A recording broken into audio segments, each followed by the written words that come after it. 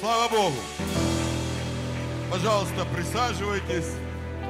Давайте поблагодарим наших певцов, музыкантов за потрясающее время. И они нам еще сегодня послужат. Спасибо за хороший микрофон. Если можно, включите свет в зале. Вот, чтобы я ваши глаза видел. Аминь. Слава Богу. Слава Богу, слава Богу. Дорогі браті і сестри, шановні брати і сестри, дуже радий вас вітати. Слава Ісусу Христу. И буду э, сегодня на русском проповедовать. Мне очень хочется, чтобы все меня доступно поняли. Если кому-то лучше на украинском слушать, ну, е, що сказати, я можу українською мовою дуже гарно, правда. Але дуже хочеться, щоб мене всі зрозуміли. Амінь. Е, Слава Ісусу Христу за Германію, за Берлін. Пусть Бог благословит Олафа Шольца. Пусть Бог благословит всех депутатов Бундестага. Пусть Бог благословит эту чудесную страну, которая открыла свои двери и приютила сколько хороших людей. Аминь. И пусть Бог больше еще благословит Германию, хотя хочется спросить, куда уже больше. Вот, уже даже не знаешь, куда больше. Ну, все-таки пусть Бог благословит. Кому, у кого есть, тому добавится.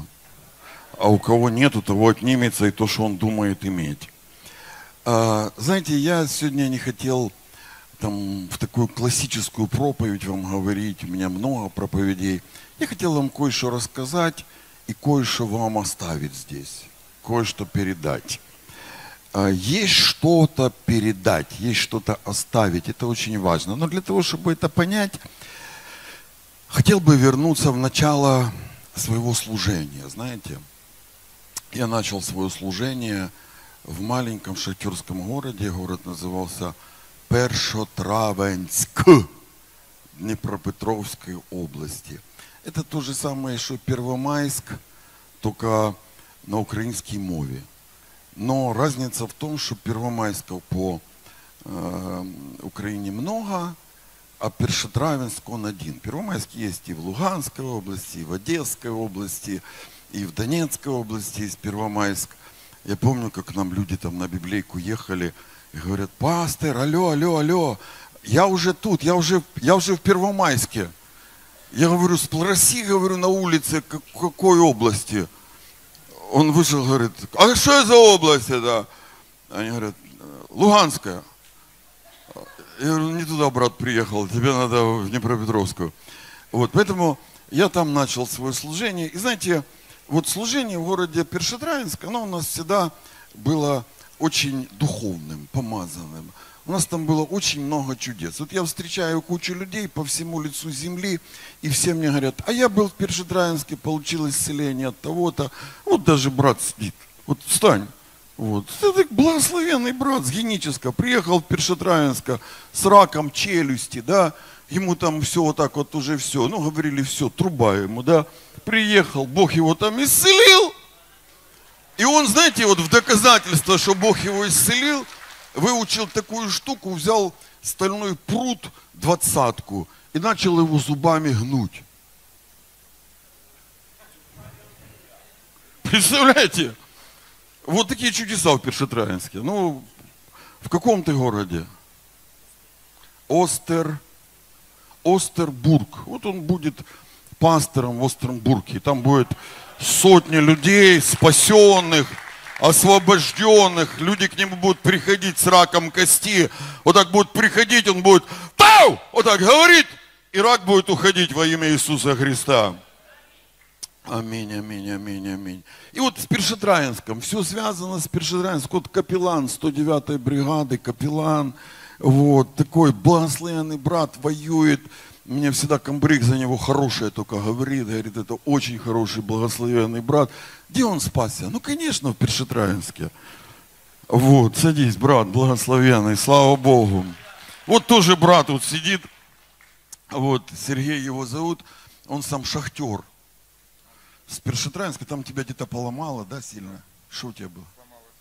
Сми- Ну, шах- шахта, она ломает, ему спину сломала там, поломала, он пришел после этого в церковь и начал меня доставать еще шесть лет назад такой странной мыслью. Хочу открыть церковь в Мюнхене. Я думаю, думаю, какой-то странный шахтер с Першетравенска с поломанной спиной. Только ли спина поломанная или что-то еще. Вот. И он меня доставал, я вот приходит, я хочу церковь в Мюнхене, я хочу, я смотрю, думаю, боже, ты что ты пристал ко мне? Да ты Дойчланд э, мову знаешь, не? Не знаешь. Как ты откроешь церковь в Мюнхене, да? Ну, кстати, уже открыл церковь в Мюнхене. Представляете?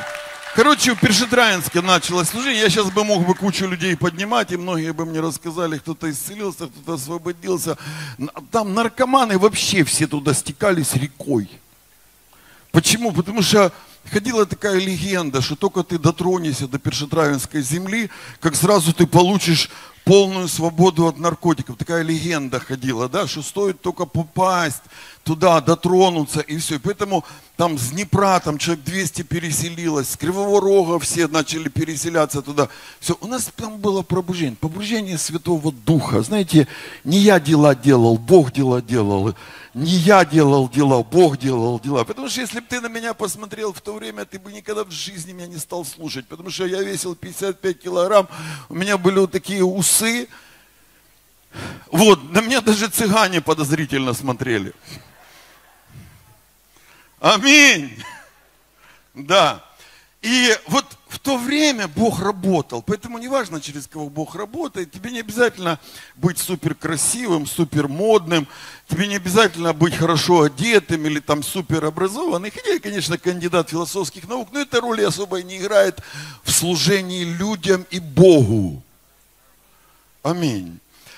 И Бог начал двигаться, да. Ну, я начал читать Библию. Что говорит Библия? Библия говорит, что ты будешь проповедовать в Иерусалиме, в Самарии и до края земли. Аминь. И у каждого пастыря, у него должен быть свой Иерусалим, должна быть своя Самария и должен быть свой край. Вот, где ты как бы заканчиваешь уже, где ты край твой, да, край. Поэтому Бог начал двигаться. Я открыл церковь в Харькове, и буквально за короткое время там у нас появилась церковь тысячу человек. Вот. Я начал изгонять бесов со всех. Все придурки Харькова пришли к нам на служение. Вот, все самые странные люди, все самые...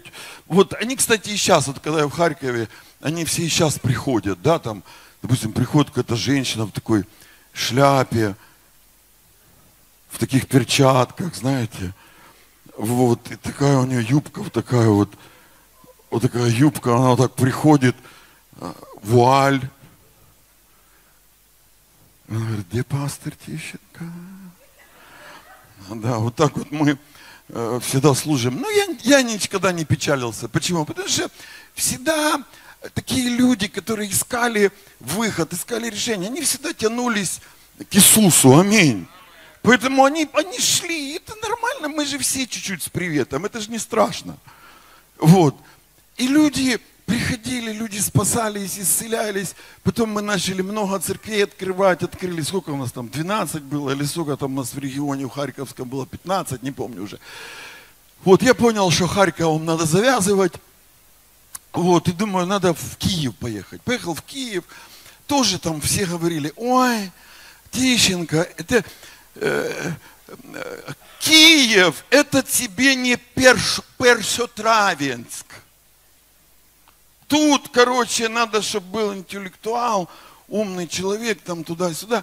Короче, начали там рассказывать. Я помню, вот мы недавно мы зашли в какой-то зал, там какая-то церковь. Хорошая церковь, хороший зал. Там эту церковь построил, знаете, вот этот проповедник, который пророчествовал, что в Украине будет 7 атомных взрывов. Вот, он попророчествовал и уехал в Америку, здание осталось. Хоть что-то хорошее осталось.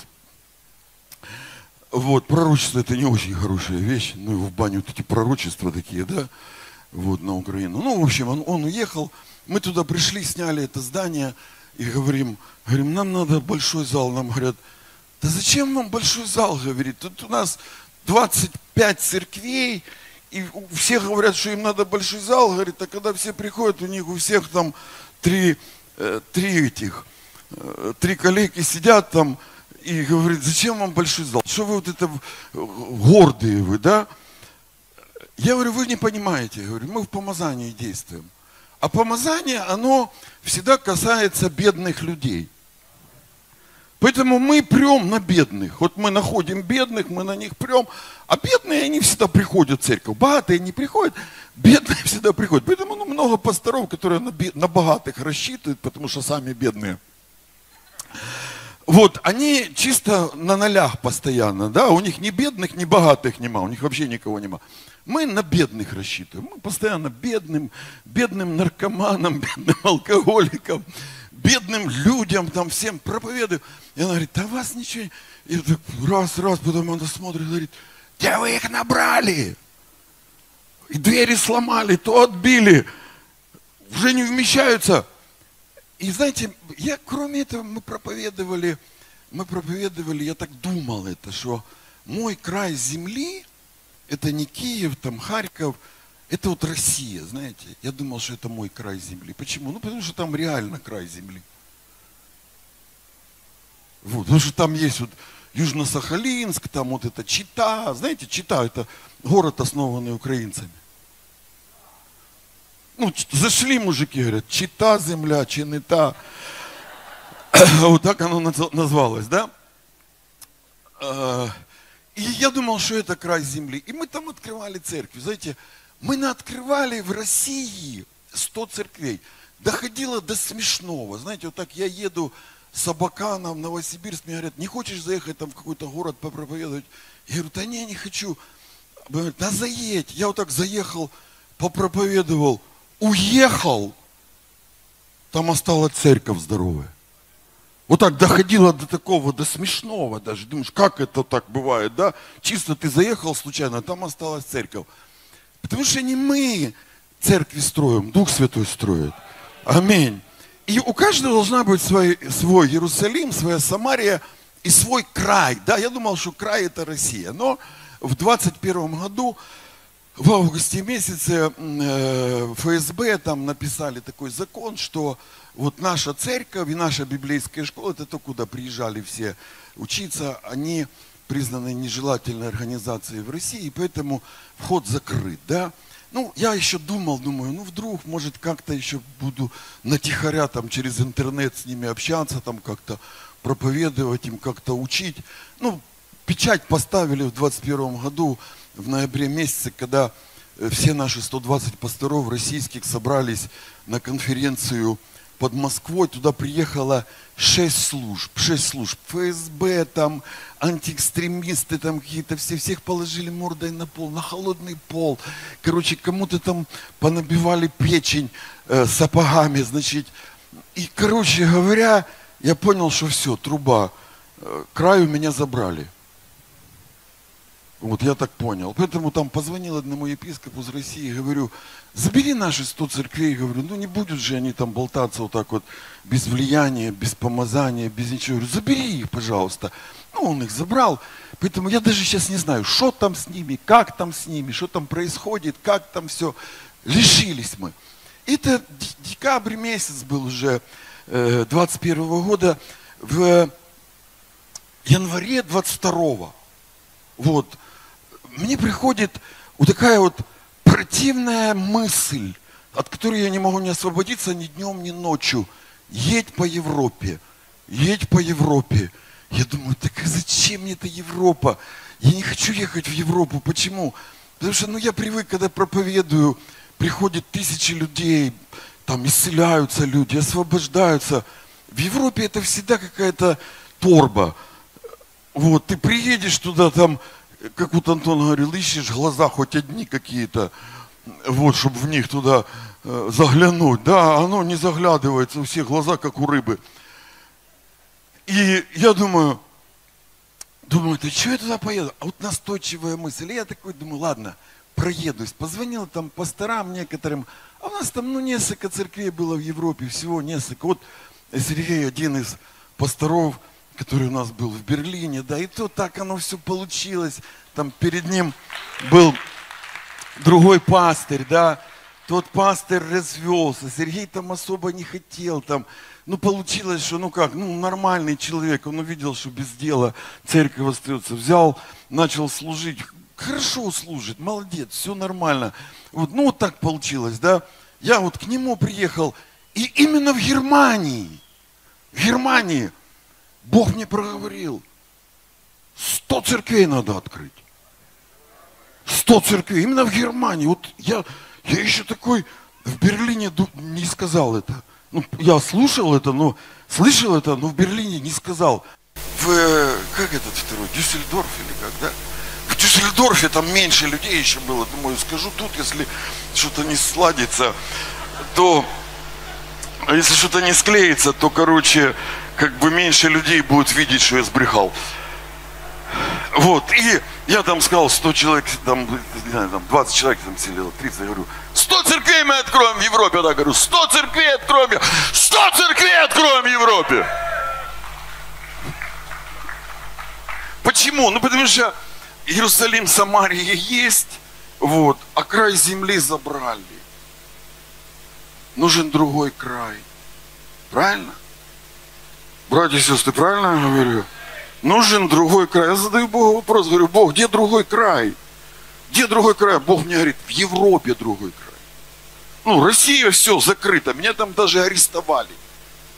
Я единственный пастор, заочно арестованный.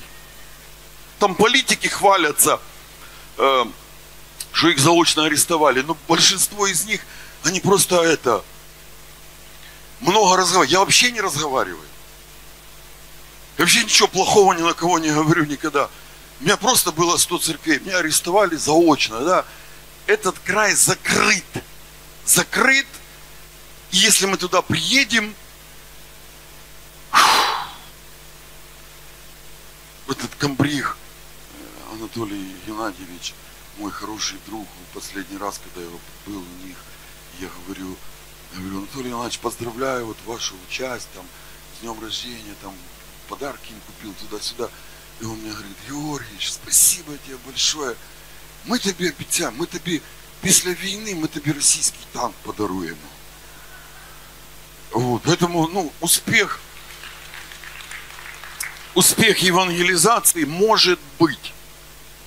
Вот, на танке как-то, да. Я понял, там закрыто все, да, нужен другой край, другой край. И тут сразу, знаете, я человек прагматичный, я не, я не философ, я вот никогда не ору там, да, Бог нам что-то там даст. Я если говорю, Бог даст, я начинаю сразу думать, а как Он это сделает? Каким образом, знаете, я начинаю продумывать стратегию, пути достижения. Потому что когда ты просто кричишь, Бог даст мне миллиард, ну, и что? Просто Бог даст миллиард. Не, не, подожди. И? И что далі? Да. Як він дасть? Хоть билет купи лотерейный. На миллиард. Да? Я стратегия. У меня всегда стратегия была. Как это будет? Да, я думаю, как это все может быть? Я думаю, надо людей посылать в Европу Почему? Потому что, ну, у нас есть обученные люди, у нас есть воспитанные люди, есть люди, которые, с другой стороны, кто захочет ехать в Европу? Это вопрос. Вот, вопрос. Никто не хочет ехать в Европу. Почему? Потому что самая лучшая страна для жизни – это Украина.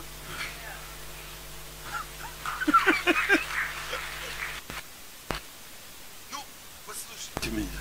Я все понимаю. Тут там безопасность, комфорт, все это, это все понимаю, все. я вам скажу так, что для вас, для многих, жизнь в Европе – это жертва. Знаете, вот это учение везло в заблуждение, что вот здесь вроде это никто, а там это вот все. Понимаете? А тем не менее мы же христиане. И это значит, что мы тоже должны быть помазаны. Аминь. И что мы видим? Мы видим, что обычные люди, такие как Стефан в Библии, их руками Бог творил немало чудес. Это были простые люди, которых мы даже не знали, кто это такие.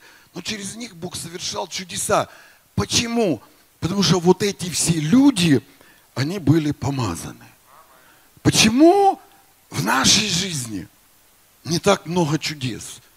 Ну, во-первых, нам рассказали, вот буквально сегодня утром я слушал передачу, там э, один пацан, блогер, ютубер такой, да, он берет каждого проповедника, особенно американских там, и там их раз, раз это, разбирает на части, да.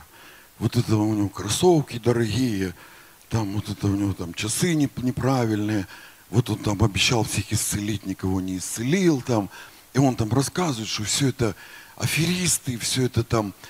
Я, я вообще, вот у меня вопрос, если те, которые обещают кого-то исцелить, аферисты, вот, а кто тогда не аферисты? Тогда все, что с христианством связано, это афера или как? Объясните мне. Если в церкви говорят, Бог тебя благословит, ты будешь богатый. Аферисты так говорят. Хорошо, давай по-другому. Бог тебя сделает бомжом. А так кто говорит? Придурки. Понимаешь, это тогда все аферисты, тогда все придурки, тогда все ненормальные. Знаете, если так смотреть, то можно закритиковать каждого. Каждого. Ну да, немного сегодня исцелилось. Вот у женщины опухоль прошла, да. Слава Богу. А если бы не прошла? Значит, надо было бы оперировать. Правильно? Значит, надо было к врачам идти. Так не надо идти, да? Вот прошла опухоль, все, к врачу уже идти не надо, да? Вот я в очках хожу, а вот Сестра теперь может никогда очки не одевать. Слава Богу. Почему? Потому что кто-то решил быть христианином. Понимаете? И сказал, я буду делать то же самое, что делал кто? Христос. Что делал Христос? Христос сделал четыре вещи, но я добавил от себя еще пятую.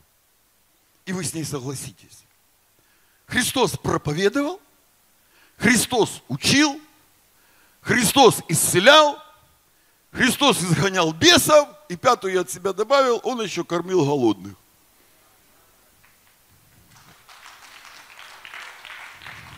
Пять вещей он делал. Теперь у меня вопрос, если эти пять вещей делал Христос, Можете ответить мне только честно, вот, что по вашему делу должен делать, христи... по вашему мнению, должен делать христианин? Давайте перечислим вместе. Проповедовать должен. Тех, которые во тьме, научить должен. Бесов выгнать должен. За больных помолиться должен. Голодного накормить должен. Вот кто такой христианин? Я ничего нового вам не даю. Я вам даю то, что говорит Библия. Если Христос все это делал, христианин тоже это должен делать. Теперь послушайте. Если я начинаю это делать, вот я обычный человек, обычный простой человек, да, вот, обычный простой человек из Энергодара? Из Энергодара. Да. Слава Богу. Вот если он начинает это делать, он начинает проповедовать, учить, исцелять, изгонять бесов, кормить голодных. Знаете, что из этого получится? Сказать вам? Из этого получится церковь. Я сегодня очень глубокое учение вам преподаю. Очень великая глубина. Знаете, если ты не проповедуешь, не учишь, не исцеляешь, не изгоняешь бесов, и не кормишь голодных, то даже если у тебя была церковь, то она закроется. Поэтому в Германии куча церквей, что? Закрылись. В Норвегии куча церквей закрылись. В Лондоне куча церквей закрылись. В Швейцарии куча церквей закрылись. Почему? Потому что люди перестают проповедовать, перестают учить, перестают исцелять, бес, исцелять больных, изгонять бесов и кормить голодных. Это то, что мы должны делать. Это то, что делал Христос. Теперь еще один вопрос. Опять же вопрос. Скажите, когда Христос начал это делать? Христос начал это делать не с детства, не от рождения. Хотя он был Иисусом. Он был святым, праведным. Но он не был помазан. Он получил помазание, когда пришел на служение к Иоанну Крестителю. Чем отличался Иоанн Креститель от Иисуса Христа? Иоанн Креститель, он никогда не был выше Иисуса Христа. Все со мной согласны или нет? Никогда не был выше. Но к тому времени, когда он проводил служение, Иоанн Креститель уже был что? Помазан. А Иисус еще что? Не был помазан. Понимаете, вот разница и все. Креститель помазан, Иисус не помазан. Что сделал Иисус? Он такой читал газеты, смотрел интернет, такой листал Facebook, листал Инстаграм. Иисус смотрит, о, проводит служение проповедник Иоанн Креститель. Наверное, про него там блогеры уже составили какие-то блоги, там какой-то странный тип. Орет постоянно. Орет. У меня под каждым моим постом в Фейсбуке, у меня, я не могу эти слова наговорить вслух. Вот, но у меня каждый раз есть какие-то смс, там, как, комментарии, да, там, вот, э, там, ты такой, секой, ты такой, что ты орешь, как потерпевший. Я думаю, что Иоанн Креститель, а у него даже его название такое было, ему говорят, ты кто? Он говорит, я, я глаз вопиющего в пустыне. То есть я, ну, в переводе на наш язык, это я тот, кто орет. Я тот, кто орет. Вот такой я, да. И там уже, наверное, блоги составили про него, там уже написали, странный проповедник, весь волосатый, небритый, в кожаных одеждах, странный, в пустыню побежал, там что-то орет, все к нему сходятся. И вот Иисус узнал, что он проводит служение, и он пошел к Иоанну Крестителю. Зачем? Зачем? Потому что он не проповедовал, не изгонял бесов, никого не учил, никого не исцелял. Он пришел к Иоанну Крестителю на служение, чтобы получить помазание, чтобы после этого начать, скажи начать. Давайте скажем вместе, начать. Начать. Христианин должен что сделать? Я говорю, христианин должен что сделать? Каждый христианин должен что сделать? Ты не приход. Я говорю, ты не приход. Ты христианин. Значит, помазан. Значит, когда-то ты должен начать. Я не хочу. Да я тоже. Я вам говорю.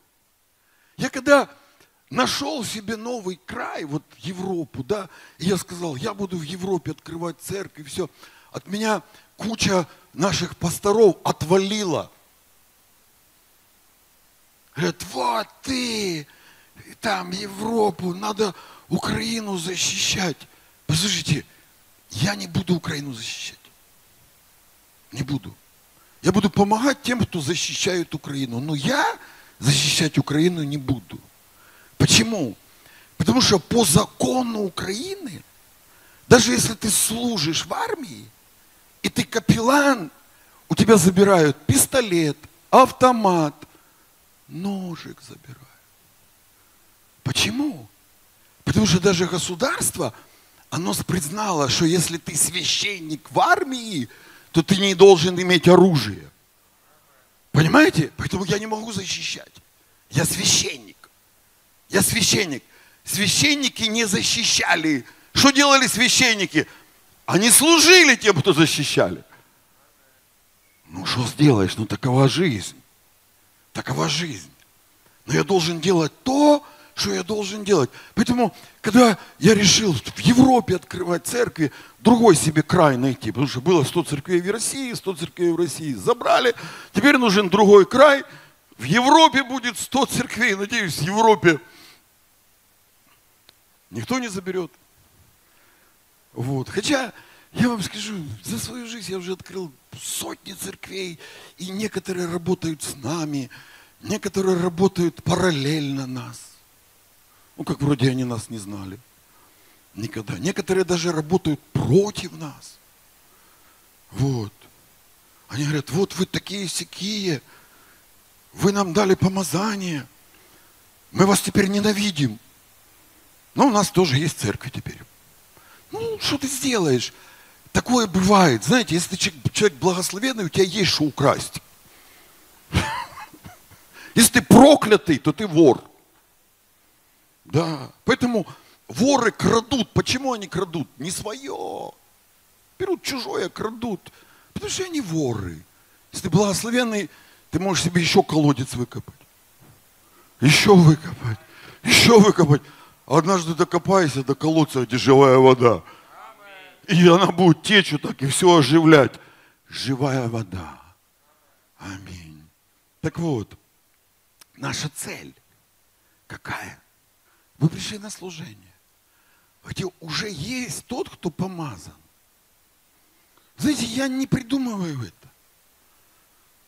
Я не придумываю. Я открывал множество церквей, множество, множество. И везде, где я их открывал, знаете, мне говорили, вот это в Першотравенске у тебя там 2000. Потом, когда 2000 в Харькове стало, говорят, нет, это в Харькове у тебя 2000. Вот в Киеве никогда у тебя не будет. Там, знаешь, у меня будет везде. И не потому, что я хороший, и не потому, что я особый какой-то. Я вам объясняю.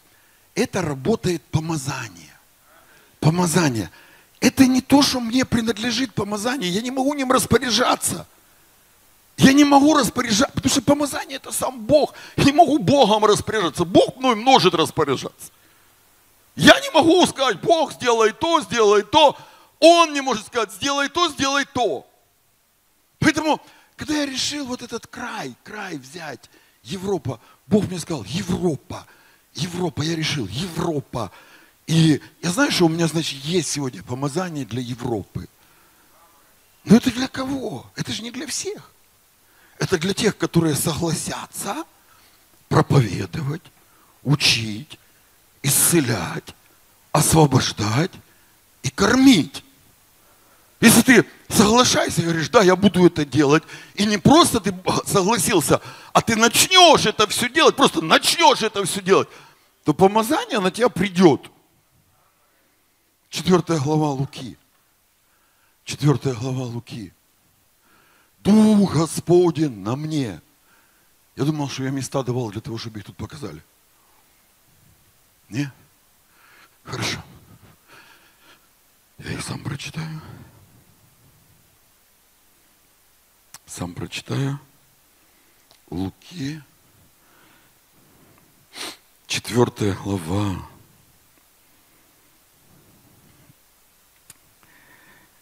Это слова Иисуса Христа.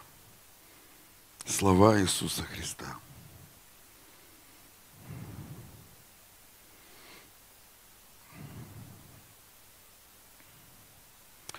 Восемнадцатый стих.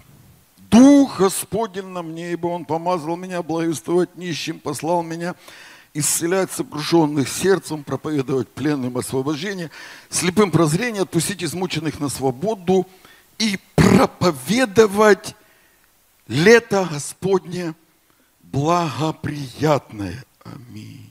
Аминь, аминь, аминь. Теперь Луки, седьмая глава. Седьмая глава. Еще одно место прочитаем.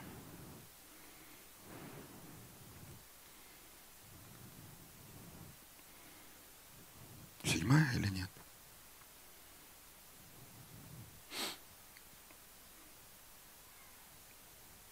Какую-то я давал. Седьмая или нет? А? Нет? Не седьмая? 7.22.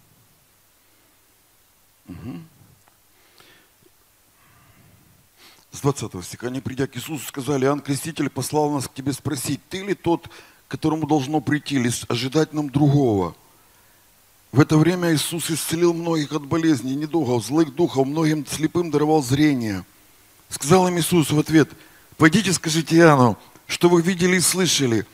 Слепые прозревают, хромые ходят, прокаженные очищаются, глухие слышат, мертвые воскрешают, нищим проповедуется Слово Божье, и блажен, кто не соблазнится обо мне. То есть, ну, как бы смотрите, опять же, все просто, вот ничего сложного нету. Иоанна Крестителя за то, что он проповедовал Иисуса Христа, посадили в тюрьму. Э, братья и сестры, хоть вы и не в России, а в Европе, но если вы будете сильно проповедовать Иисуса Христа, то вас тоже могут тут в тюрьму посадить. Такое бывает. Поэтому э, продолжайте проповедовать Иисуса Христа. Вот его посадили в тюрьму, он сидит в тюрьме, позвал своих учеников, говорит, сходите к Иисусу, узнайте вообще, что происходит, что я сижу. Я ж ничего плохого никому не делаю, да. Вот я в России ни одного человека не побил, ни у кого ничего не украл, никого ничем не обидел в России. Я просто там проповедовал Слово Божье, меня за это там арестовали, да, в Украине. Мы просто помогли тысячам наркоманов бросить наркотики. Тысячам, тысячам. Я думаю, что таких людей, ну, минимум 10 тысяч есть, которые сегодня живут в свободе, они полностью бросили наркотики, живут нормальной жизнью, все у них хорошо, позаводили семьи, стали пасторами, стали служителями. Я вам больше скажу, у нас там милицейские, полицейские капелланы, у нас все бывшие – я уже за военных молчу. Понимаете? То есть это Бог их изменил, Бог их освободил. Вот это 48 уголовных дел. За что? Да, это потому что мы связались с Иисусом Христом. Да.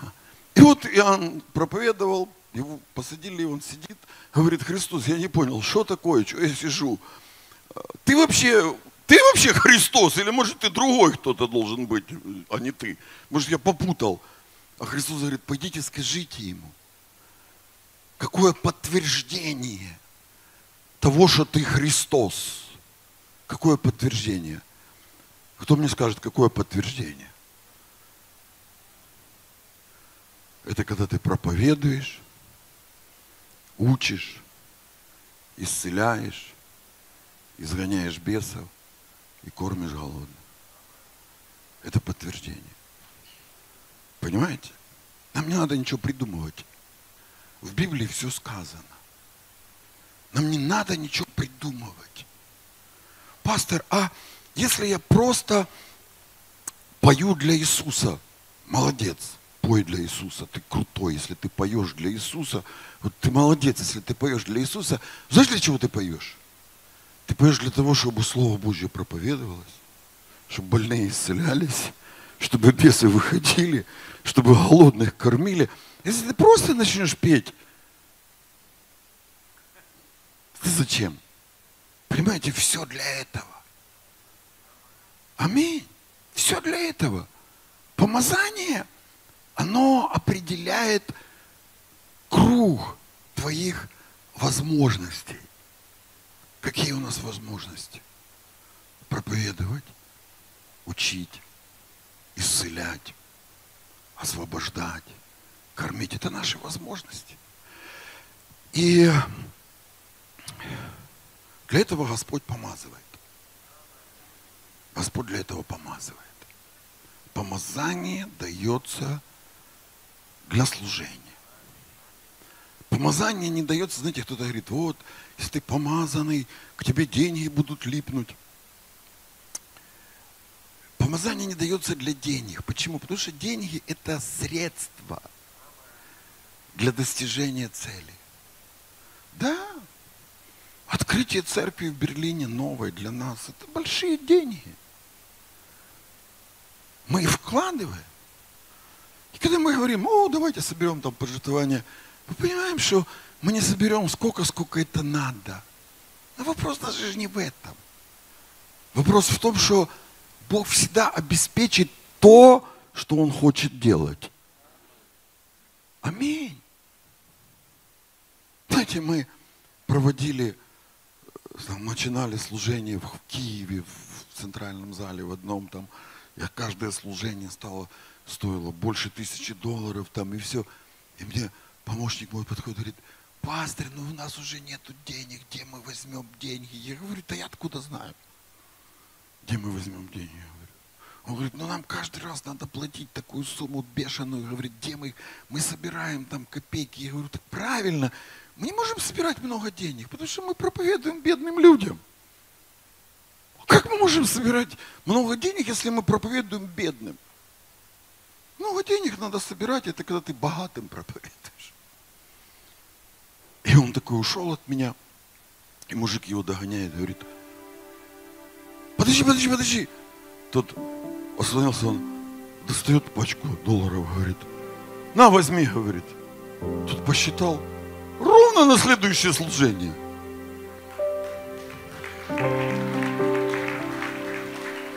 Знаете, как это называется? Посмотрите на птиц. Они не сеют, не пашут, а Господь что делает? обеспечивает. Мы должны это делать, да?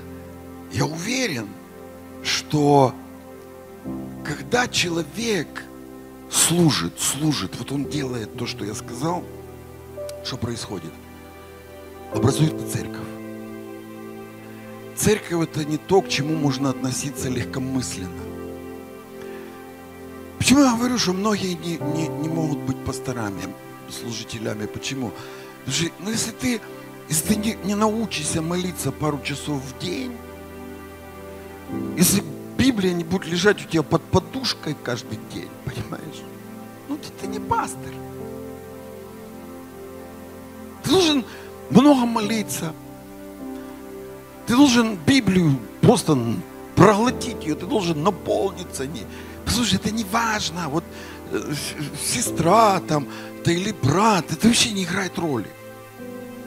Если человек посвятил себя, это не важно, сколько вам лет. Понимаете? Это вообще не играет роли. Там в Америке там какая-то ерунда сейчас ходит. Вот, проповедник должен быть пастырем до 50 лет, потом на пенсию. Мне 59 уже. Я стараюсь хорошо выглядеть, чтобы не выгнали на пенсию. Стараюсь не стареть. Пастырь, скажи честно, ты волосы красишь? Нет не крашу. Я просто цыганской породы. Да, у меня даже конь был. Потом я его отдал на репцентр, они его съели.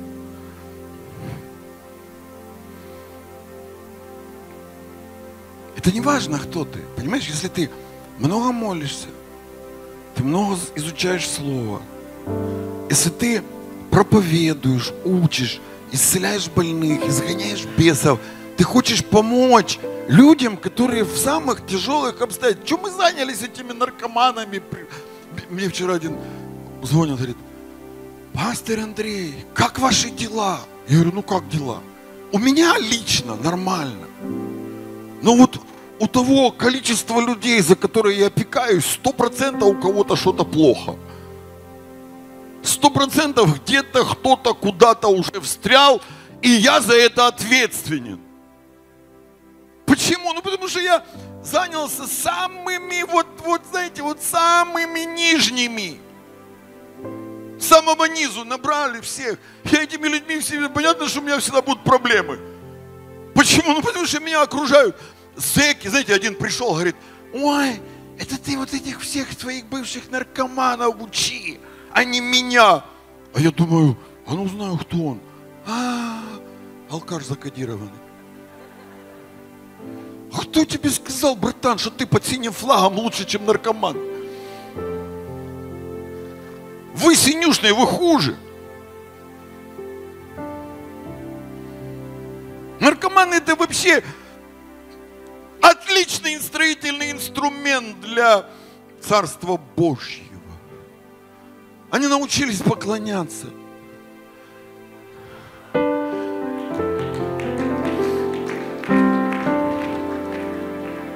Они легко жертвуют деньги,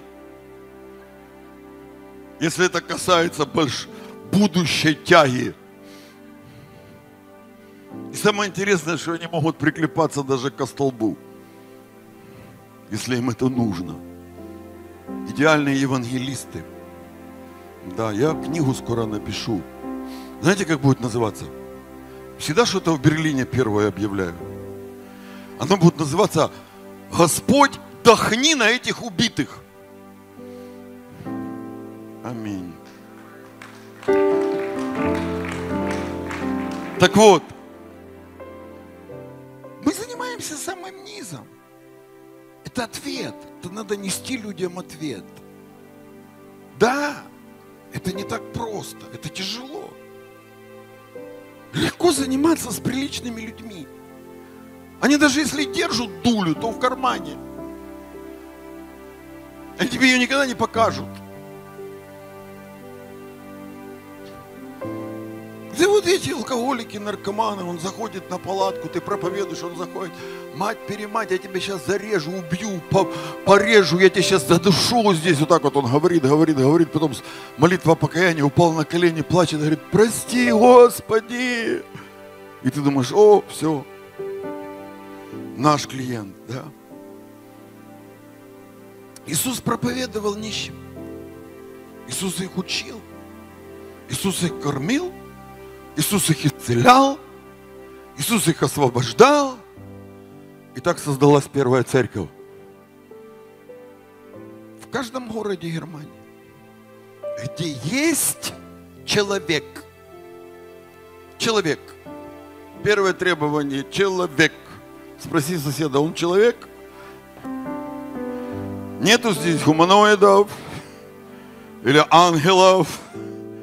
Люди все, да?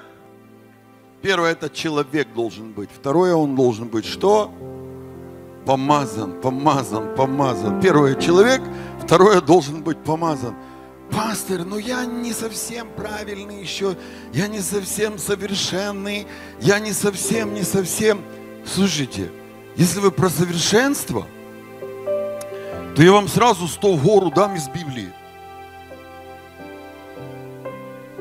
Иисус выбрал Петра и говорит, ты камень, я на тебе создам церковь. И после этого у Петра началась куча странного поведения. Сначала он начал Иисуса переубеждать, чтобы он не шел на крест – и он до, до того его достал, что ему пришлось сказать, отойди от меня, сатана. Потом, когда Иисус уже пошел в Гефсиманский сад, Петр взял ножик и зачем-то, непонятно зачем, отрезал ухо какому-то вообще левому типу который вообще непонятно откуда там взялся. Он пришел, он слуга какого-то там слуги. Он попал туда нечаянно. Тут приходит проповедник, отрезает ему ухо, говорит, все.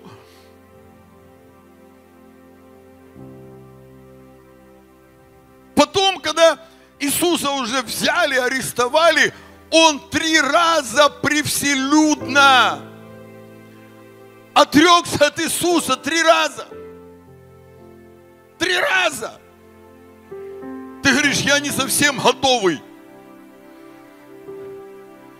Ты лучше, чем Петр.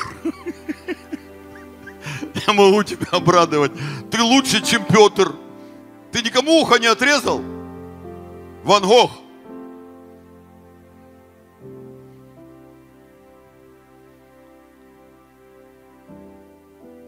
Три раза от Христа не отрекался. Сколько отрекался от Христа? Ни разу. Ще свята людина. Свята людина. Ты тоже не отрекался? Тоже. Смотри, у нас тут лучшие люди, чем Петр сидят. Я вообще говорю, тут лучшие люди. Лучшие люди Берлина собрались здесь. Слава Богу за вас, братья и сестры. Слава Богу. Так вот, я вам передал свое видение. Я хочу открывать церковь. Кто со мной? Кто говорит, я тоже буду с тобой? Подними руку свою. У кого-то тяжелые руки, просто, наверное, от помазания. Да. Это просто. Это просто делать то, что говорит Иисус, и все. Открывать церковь. Открывать церковь. Ты человек? Если ты человек, тебе для того, чтобы открывать церковь, нужно что? Помазание. Ты скажешь, что такое помазание, пастор? Что такое помазание? Смотрите. Вот у меня вопрос простой.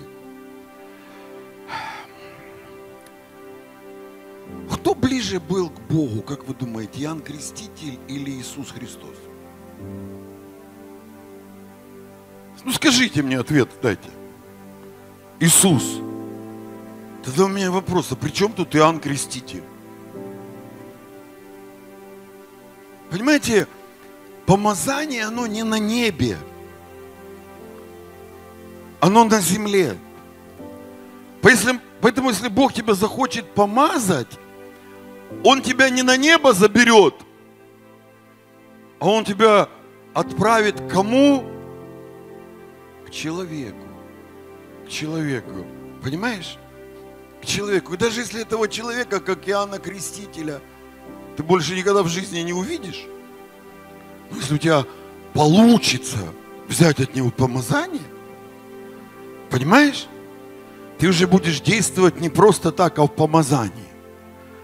Скажи, что такое действовать в помазании? Ну, во-первых, для чего дается помазание? Там написано проповедовать нищих.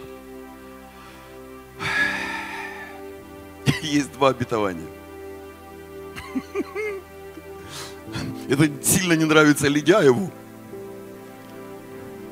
Вот. Но, но это факт. Если ты хочешь проповедовать богатым, людей у тебя не будет.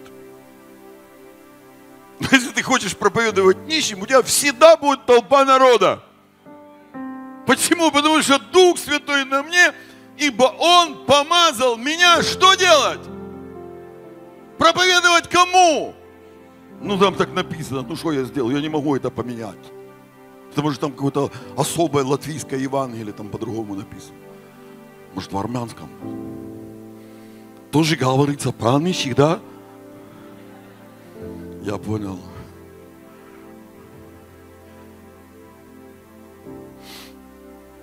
Смотрите, это Евангелие. Оно направлено на бедных людей. Вы знаете, кто такие были фарисеи во времена Иисуса Христа? Это были богатые люди. Садукеи это были богатые люди. А нищим казалось бы, даже и Бог не нужен. Зачем он вам нужен Бог? Мы тут богатые с Богом, нормально у нас все. А вы тут нищие. Знаете, какое мышление было в Израиле? Бедный человек, это значит грешный человек. Вот так мыслили. Иисус говорит, вот к таким людям я и пришел. Вот к таким я пришел. Вы ними пренебрегаете, вы их даже в свои храмы не пускаете, в синагоги свои не пускаете. А я, Иисус говорит, я к ним пришел. Почему? Потому что меня для этого Бог помазал. Если меня Бог помазал для чего другого, я для другого пришел. Но меня Бог помазал для этих бедных людей. Поэтому, если я хочу открыть церковь, в любом городе. Я говорю, в любом. В любой стране. Что сказал Господь? Нищих всегда будете иметь. всегда будете иметь. Всегда они будут. Куда бы ты ни попал. В Лондон попадешь, и там есть нищие. Аминь. Я был в Лондоне, в цыганской церкви. И меня с, с русского на английский переводила одна цыганка. В процессе проповеди я понял, что я знаю английский лучше, чем она. Но все равно, слава Богу, за смелых людей. Правильно? Да. Вот я хотел спросить, цыгане много вообще? Много? Так а что ты сидишь? А? Ты сейчас возьмешь помазание. Просто возьмешь помазание. Только не сразу за деньги думай. Знаю я вас, цыган. Сразу начнете ручку позолотить туда-сюда.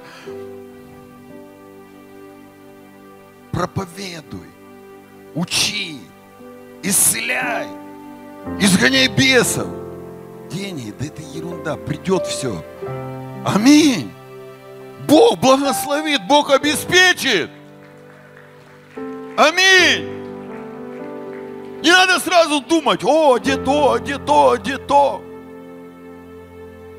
Какая разница, что у тебя есть сейчас? Важно, что ты делаешь сейчас и кто на твоей стороне.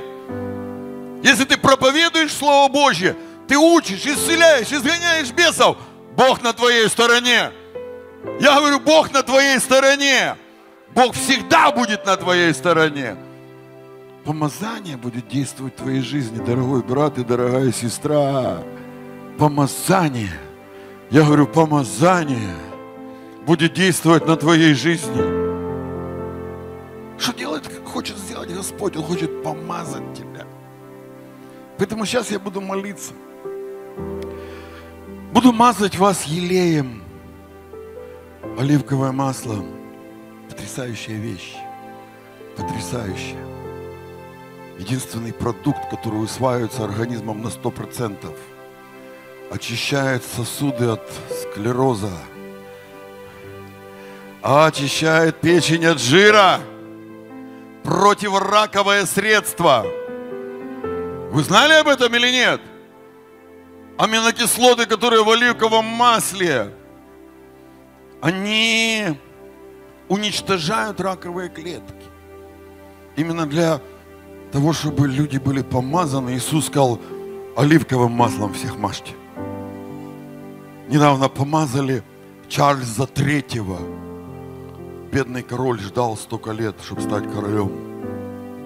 Его помазали оливковым маслом. И я вас сейчас поможу оливковым маслом. Короли. Аминь. Короли трущоб. Говорю, короли трущоб! Аминь!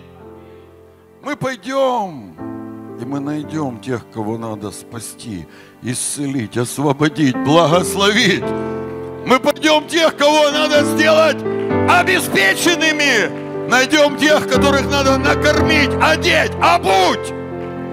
Амен. Бог нас помазал для этого. Кто такой Иисус? Дух мытарей и грешников. Что про него написал Пилат? Иисус Христос, царь. Тот, кто служит нищим, тот и царь. Амен. Тот, кто служит бедным, тот и царь. Тот, кто помогает людям, которые внизу, тот и будет царем. Знаете, я был сейчас на конференции в Америке. Богатая церковь. Богатые пастора, богатые. Они вот так проповедуют, говорит, Бог дал мне дар сеять. Говорит, дар сеять. Говорит, тут я в этом году миллион долларов подарил там людям. Пожертвовал. Я говорю, думаю, Господи, что не, не мы эти люди? Вот. Другой там вышел, говорит, вот у меня был плохой самолет, я летал на своем плохом самолете, сейчас Бог мне хороший самолет дал. Я думаю, ну да, да, да, да, да. Слава Богу за вас, за хорошие самолеты.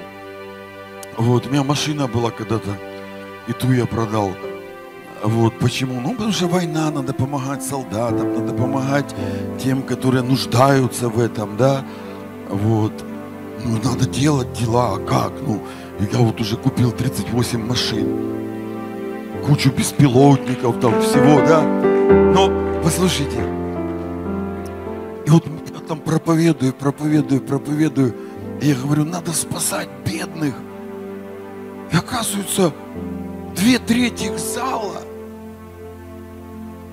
такие молящиеся, кричащие по Богу, наполненные Духом Святым. Знаете кто?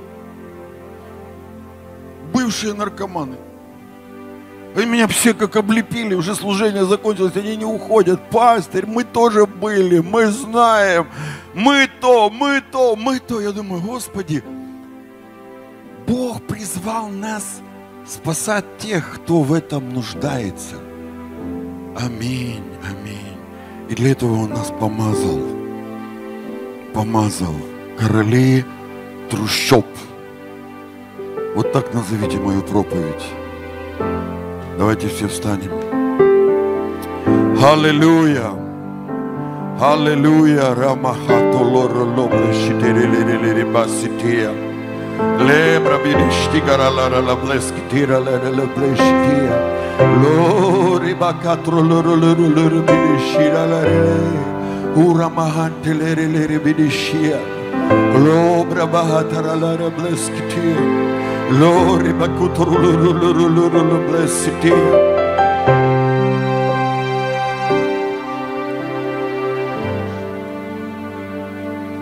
Я помолюсь сейчас помазанием Елеем. Если ты примешь решение проповедовать, учить, исцелять, изгонять бесов,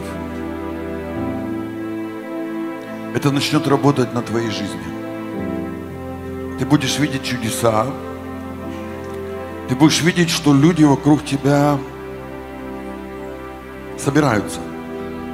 Они будут собираться вокруг тебя. Я говорю, они будут собираться вокруг тебя. Они будут собираться вокруг твоей проповеди, твоего учения, вокруг твоей молитвы. Они будут собираться. Они просто будут собираться. Ты не будешь этот процесс контролировать даже. Может быть, ты скажешь, я бы и не хотел, чтобы эти сюда пришли. Но они все равно придут. Почему? Потому что начнет работать помазание. Помазание начнет работать. Это сверхъестественная сила Божья. Поэтому сейчас вот те люди, которые, знаешь, давай не будем вот сейчас вот, вот этот вот этот барьер себе ставить, там, вот, я открою церковь или не открою церковь.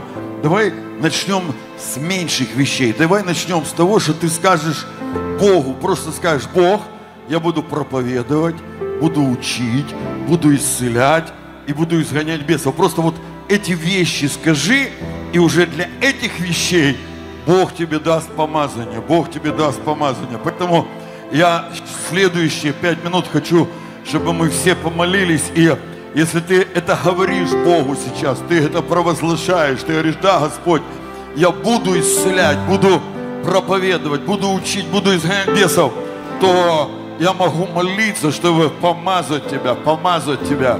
Орба хателери либривили шигараларала.